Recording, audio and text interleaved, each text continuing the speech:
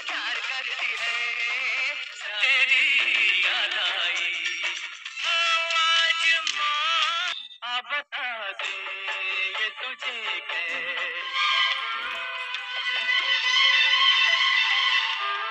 तूने जगा दिया।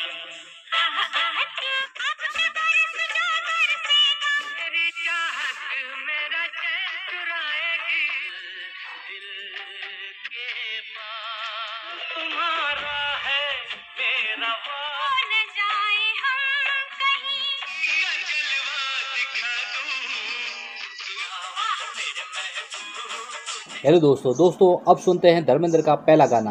फ़िल्म का नाम है प्रतिज्ञा, जिसमें इनके साथ है हेमा मालिनी। ये फ़िल्म 1975 में आई थी। इस गाने को गाया था मोहम्मद रफ़ी ने, म्यूज़िक दिया था लक्ष्मीकांत प्यारेलाल ने और लिरिक्स लिखे थे अनंत बख्शी ने। सुनते धर्मेंद्र का दूसरा गाना। फ़िल्म का नाम है चर्च, जिसमें इनके साथ हैं हेमा मालिनी।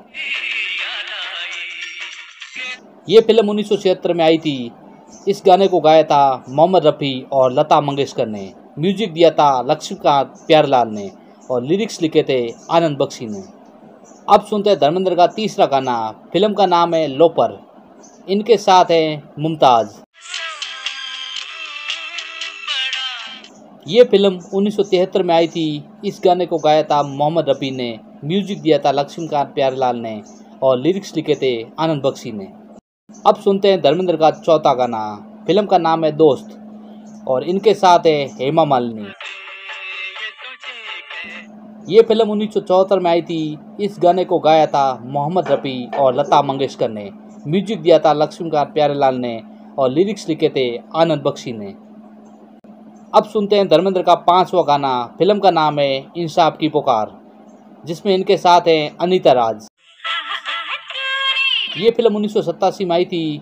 इस गाने को गाया था अनुराधा पौडवाल और मोहम्मद अज़ीज़ ने। म्यूज़िक दिया था लक्ष्मीकांत प्यारेलाल ने और लिरिक्स लिखे थे आनंद बख्शी ने। अब सुनते हैं धर्मेंद्र का छठा गाना। फ़िल्म का नाम है गजब। इनके साथ है रेखा और ये फ़िल्म उन्नीस सौ बयासी में आई थी। इस गाने को गाया था लता मंगेशकर ने। म्यूज़िक दिया था लक्ष्मीकांत प्यारेलाल ने और लिरिक्स लिखे थे आनंद बख्शी ने। अब सुनते हैं धर्मेंद्र का सातवां गाना। फ़िल्म का नाम है धर्मवीर। इनके साथ है जीनत मान। ये फ़िल्म 1977 में आई थी। इस गाने को गाया था मोहम्मद रफ़ी ने। म्यूज़िक दिया था लक्ष्मीकांत प्यारेलाल ने और लिरिक्स लिखे थे आनंद बख्शी ने। अब सुनते हैं धर्मेंद्र का आठवां गाना। फ़िल्म का नाम है ब्लैक मेल इनके साथ है राखी। और ये फ़िल्म उन्नीस सौ तिहत्तर में आई थी। इस गाने को गाया था किशोर कुमार ने, म्यूज़िक दिया था कल्याण जी आनंद जी ने और लिरिक्स लिखे थे राजेंद्र किशन ने। अब सुनते धर्मेंद्र का नोवा गाना। फ़िल्म का नाम है इंटरनेशनल क्रूक। इनके साथ है शायरा बानू। ये फ़िल्म उन्नीस सौ चौहत्तर में आई थी। इस गाने को गाया था किशोर कुमार ने और आशा भोसले ने। म्यूज़िक दिया था शंकर जय किशन ने और लिरिक्स लिखे थे अज़ीज़ कश्मीरी ने। सुनते धर्मेंद्र का दसवां गाना। फ़िल्म का नाम है आँखें। इनके साथ है माला सिन्हा। ये फ़िल्म उन्नीस सौ अड़सठ में आई थी। इस गाने को गाया था लता मंगेशकर ने, म्यूज़िक दिया था रवि ने और लिरिक्स लिखे थे साहिर लुधियानवी ने। अब सुनते धर्मेंद्र का ग्यारहवा गाना। फ़िल्म का नाम है बंटवारा। इनके साथ है विनोद खन्ना। ये फ़िल्म उन्नीस में आई थी। इस गाने को गाया था कविता कृष्ण मूर्ति ने, सुदेश भोसले और मोहम्मद अज़ीज़ ने। म्यूज़िक दिया था लक्ष्मीकांत प्यारेलाल ने और लिरिक्स लिखे थे हसन कमाल ने। अब सुनते धर्मेंद्र का बारवा गाना, फ़िल्म का नाम है बगावत। इनके साथ है रीना रॉय। ये फ़िल्म उन्नीस सौ बयासी में आई थी। इस गाने को गाया था मोहम्मद रफ़ी और आशा भोसले ने। म्यूज़िक दिया था लक्ष्मीकांत प्यारेलाल ने और लिरिक्स लिखे थे आनंद बख्शी ने। धर्मेंद्र हिंदी फ़िल्मों के एक अभिनेता हैं। इनकी पत्नी हेमा मालिनी, पुत्र बॉबी देओल और सनी देओल फ़िल्मों में काम करते हैं। धर्मेंद्र 2004 से 2009 तक बीकानेर से भारतीय जनता पार्टी के लोकसभा सांसद थे। वे फगवाड़ा में पंजाब राज्य के कपूरथला ज़िले में पैदा हुए थे।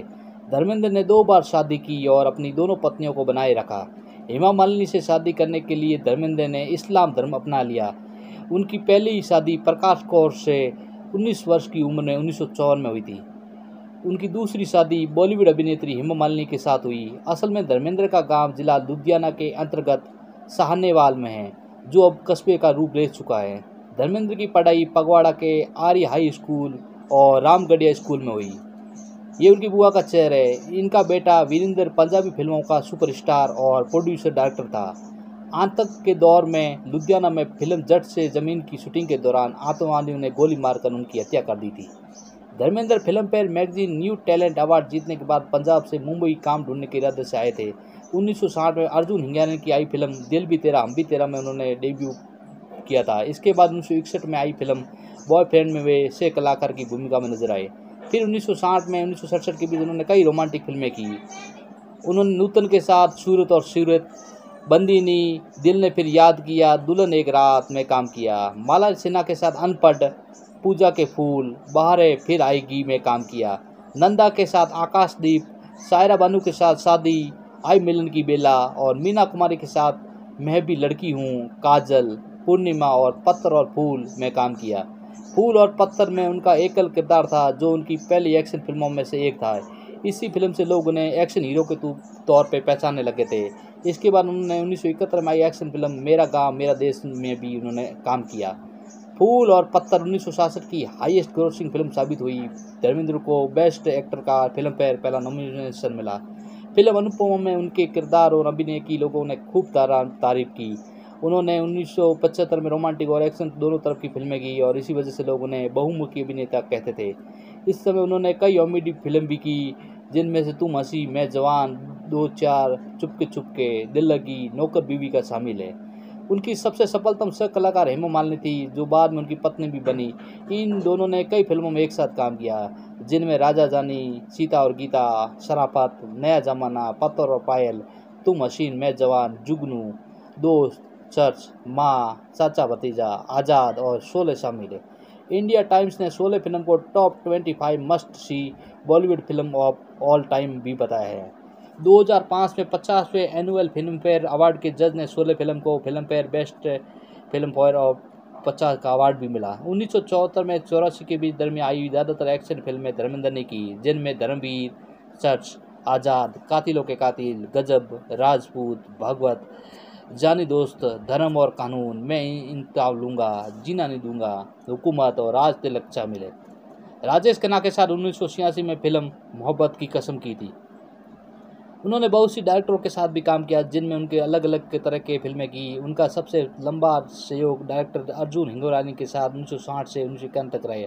बतौर अभिनेता दिल भी तेरा भी तेरा, में धर्मेंद्र की पहली फ़िल्म थी। इसके बाद अर्जुन धर्मेंद्र ने कब, क्यों की और कहाँ, कहानी किस्मत की, खेल खिलाड़ियों का, कातिलों का कातिल, कौन करे कुर्बानी में काम किया? इसके बाद उन्होंने डायरेक्टर प्रमोद चक्रवर्ती के साथ नया जमाना, ड्रीम गर्ल, आज़ाद और जुगनू में भी साथ में काम किया। इसके बाद धर्मेंद्र ने फ़िल्म यकीन में दोहरी भूमिका निभाई। इसके बाद समाधि में पिता, पुत्र, गजब में जुड़वा भाई और जियो शांस में ट्रिपल नज़र आए।